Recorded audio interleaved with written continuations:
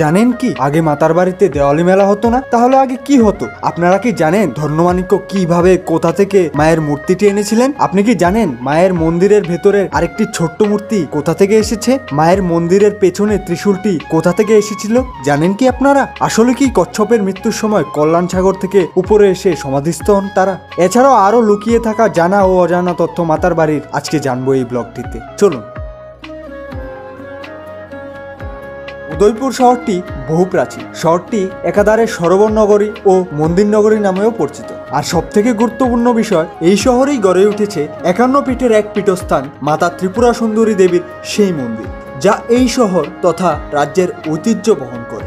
মাতা ত্রিপুরা সুন্দরী দেবীর মন্দির তৈরি কীভাবে, কখন, কার হাতে, কোন জায়গা তা নিয়ে কৌতূহলী লোকের অভাব নেই।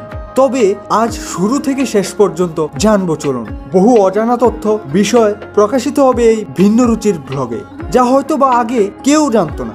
কথিত আছে, তৎকালীন সময়ে মহারাজা ধন্যমাণিক্য রাজ্য শাসন করতেন। তিনি নাকি বিষ্ণুর উপাসক ছিলেন। তখন তিনি এই জায়গাতে ভগবান বিষ্ণুর মন্দির বানাতে চেয়েছিলেন। আবার এই জায়গাতেই সতীর ডান পথ পড়েছিল বলে বলা হয়। সালটা পনেরোশো মহারাজা ধন্যমাণিক্য স্বপ্নাদেশ পান এই স্থানে মায়ের মূর্তি স্থাপন করতে। তখন সেই তৎকালীন বাংলাদেশের পার্বত্য চট্টগ্রাম এলাকা থেকে মায়ের মূর্তিটি আনার প্রক্রিয়া শুরু হয়। তখন নাকি স্বপ্নাদেশে বলা হয়েছিল, শুরু থেকে শেষ পর্যন্ত যেখানে গিয়ে সূর্যোদয় হয়, সেই জায়গাতেই করতে হবে মায়ের মূর্তি স্থাপন।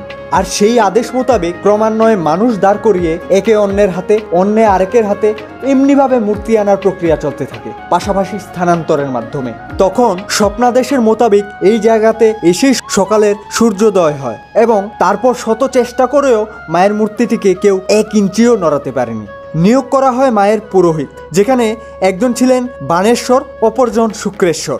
এই দুই গোষ্ঠীর পুরোহিতরাই আজীবন মায়ের পুজো করবেন স্থির হয়। তখন থেকে এখন পর্যন্ত প্রত্যেক অমাবস্যা তিথিতে মায়ের নিশি পূজা অনুষ্ঠিত হয়। তৎকালীন সময়ে অমাবস্যার নিশিরাতে বিদ্যুতের ব্যবস্থা না থাকায় মশাল ধরিয়ে পূজা হতো এবং যারা মশালের দায়িত্ব ছিলেন, তাদের বলা হতো জুলাই। এখনও সেই প্রথা অনুসারে প্রত্যেক নিশিরাতে মশাল ধরানো হয়। প্রত্যেক অমাবস্যা তিথিতে মহিষ বলির প্রথা আছে। আর সেই মহিষের যোগান দেয় মহিষাংরা। তাদের মহিষাং বলা হয়। জেনে অবাক হবেন, তারা মুসলিম সম্প্রদায়। অর্থাৎ জাতি, ধর্ম, বর্ণ নির্বিশেষে সকলেই মায়ের সেবায় নিয়োজিত। তবে গোটা দেশের মধ্যে এই ত্রিপুরা সুন্দরী মায়ের মন্দিরের একটা বিশেষ বৈশিষ্ট্য শুধুমাত্র এই মন্দিরেই যে কোনো প্রান্ত থেকেই কোনো ভক্ত আসুক না কেন, তা কোন ধর্মের লোক জিজ্ঞেস করা হয় না। তারপর ষোলোশো পঁচিশ থেকে ষোলোশো ষাট পর্যন্ত মহারাজা কল্যাণ মাণিক্য রাজত্ব করতেন। কথিত আছে, তখন তিনি স্বপ্নাদেশ পেয়েছিলেন মায়ের পুজোর জন্য জলের অভাব। তাই দিঘি খননের আদেশ পান তিনি। তখনই ষোলোশো পঁচিশ থেকে ষোলোশো ষাটের মধ্যে কোনো এক সময় মায়ের দিঘি খনন করা হয়। তখন মহারাজা কল্যাণ মানিক্যের নামেই এই দিঘির নামকরণ করা হয় কল্যাণ সাগর।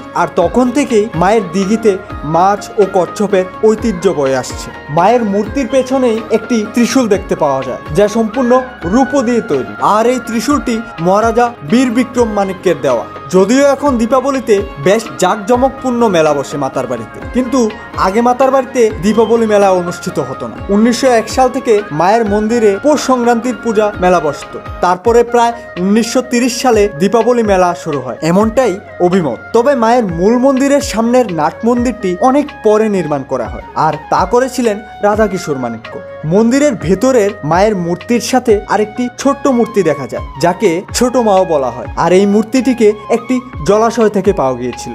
মায়ের মূর্তির উচ্চতা এক মিটার চুয়ান্ন সেন্টিমিটার। আর মায়ের মূর্তিটি গোটা বিশ্বের সব থেকে দামি পাথর অর্থাৎ কোষ্টি পাথর দিয়ে তৈরি। যেখানে মায়ের মূল মন্দিরের উচ্চতা বাহাত্তর ফুট আর ছোট মায়ের মূর্তিটি আটচল্লিশ সেন্টিমিটার। মায়ের মন্দিরটি উঁচা টিলাভূমির মধ্যে গড়ে উঠেছিল এবং তাকে কুরমাপীঠ বলা হয়। কারণ এই টিলাভূমিটি কচ্ছপের আকৃতির ছিল। যদিও এখন প্রসাদ প্রকল্পের কাজের জন্য কুরমাপীঠ কেটে আরও উন্নত করা হচ্ছে মায়ের মন্দিরকে। সব থেকে আকৃষ্টকর বিষয় মায়ের ভোগের পেড়া, যা গোটা বিশ্ববিখ্যাত। মায়ের ভোগের পেড়া দুধ এবং ক্ষীর দিয়ে তৈরি হয়। আর কচ্ছপের মৃত্যু নিয়ে ভুয়ো কাহিনী তা অবাস্তব।